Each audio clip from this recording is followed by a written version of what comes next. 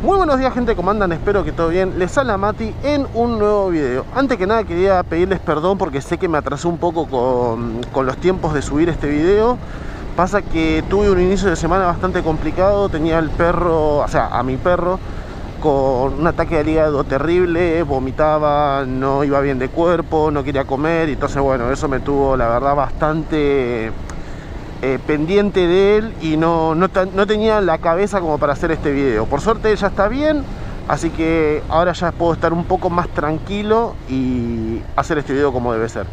Pero bueno, ¿de qué se va a tratar este video? Sobre el aceite. Vamos a hablar sobre si comprar un aceite caro, si comprar un aceite barato, si comprar uno mineral, uno semisintético o sintético. Así que si te interesa saber esta información, quédate en este video. Intro y arrancamos con el video.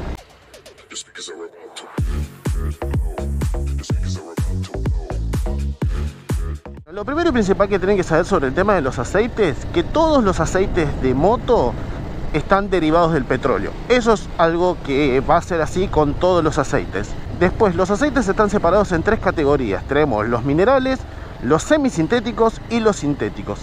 Bueno, los aceites minerales son los aceites más simples o los más base que existen en el mundo de los aceites. Son prácticamente aceites naturales con muy pocos aditivos. Tienen una durabilidad un poco inferior a los aceites eh, semisintéticos y sintéticos, pero tranquilos que igualmente cumplen la función de proteger el motor.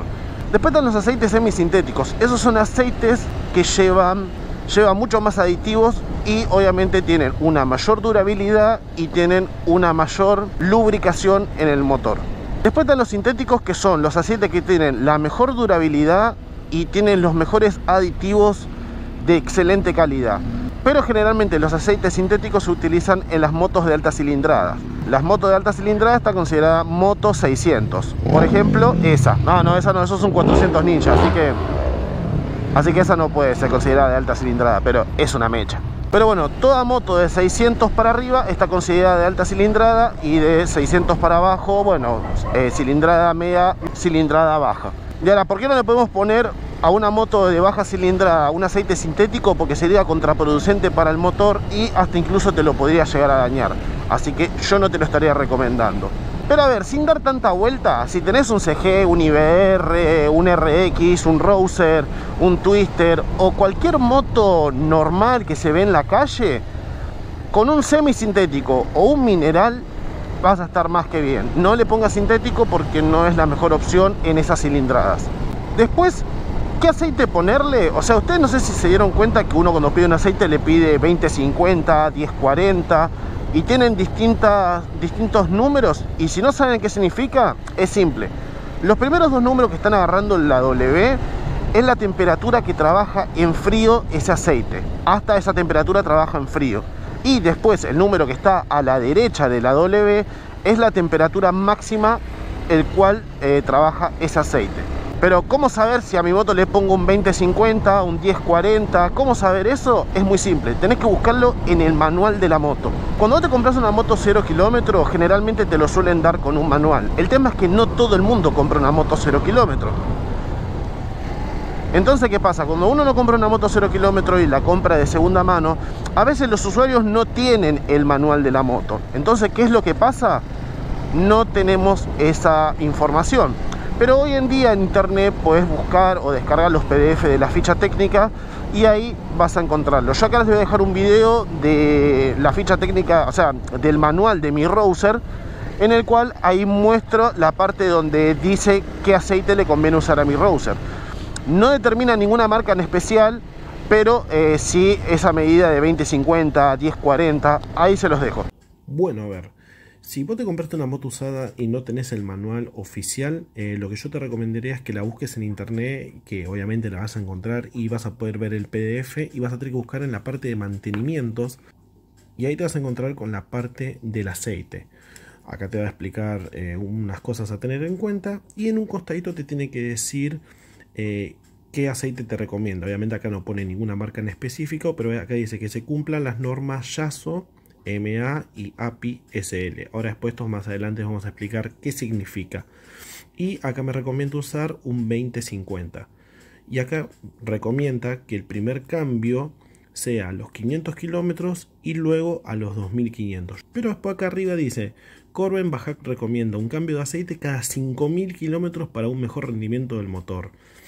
Para mí 5.000 kilómetros es una banda. Yo diría que lo hagas los cambios a los 3.000 kilómetros, entre 2.500 y 3.000 kilómetros. Ya 5.000 para mí es una exageración. En la parte de mantenimiento, como pudieron ver, dice qué clase de aceite hay que usar.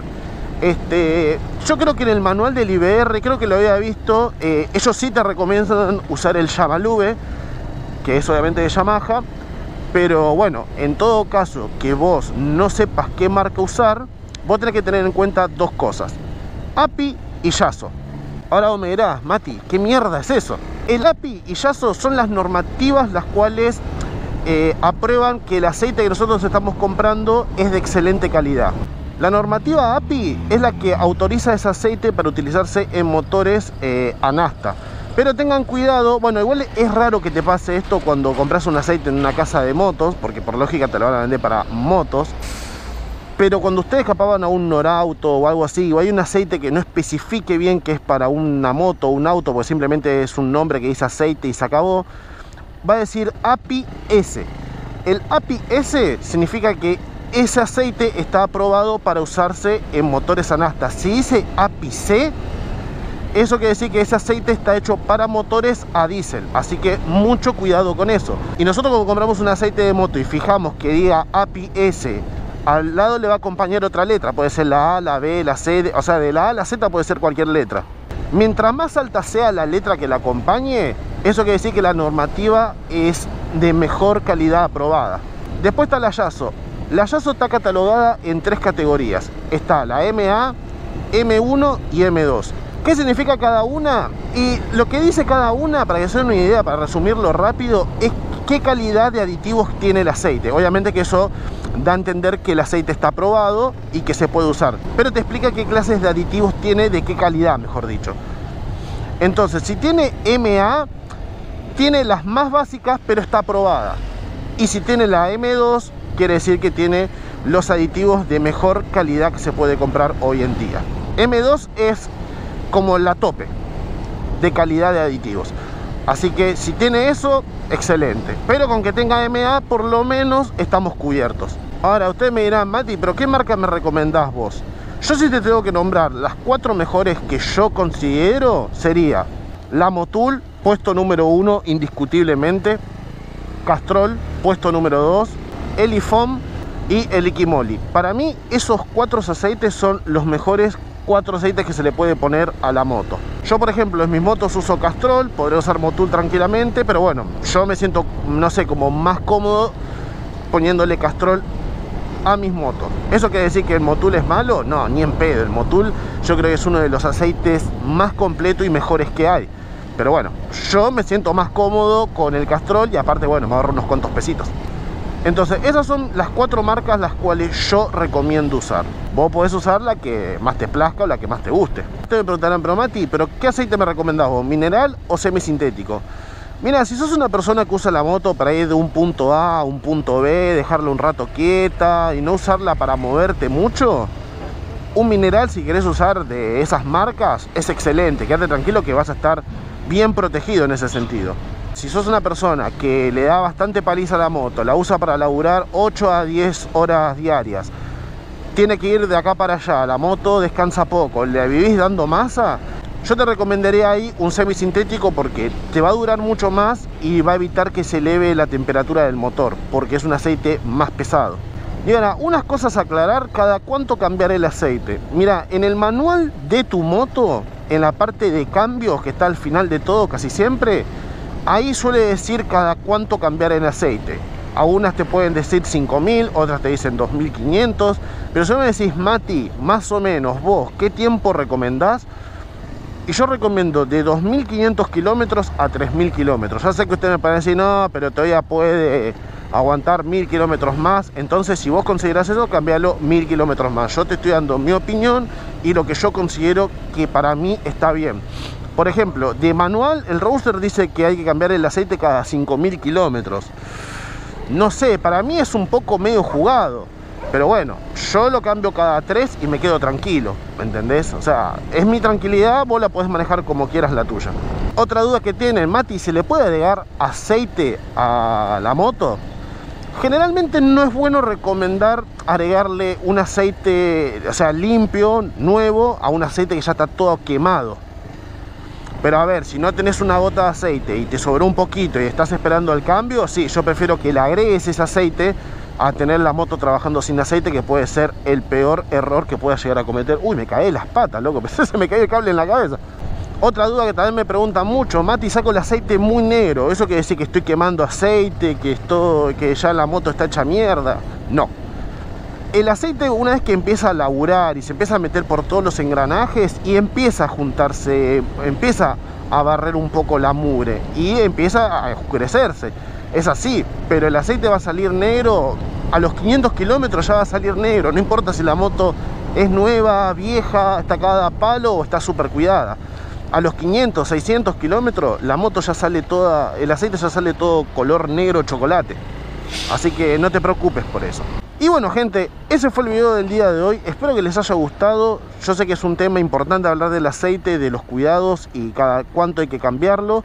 Así que bueno, yo acá ya les di unas ideas de qué aceites tener en cuenta, qué ver de un aceite si no sabes cuál ponerle, cómo buscar que estén aprobadas y que tengan un buen uso y cada cuánto ir cambiándolo.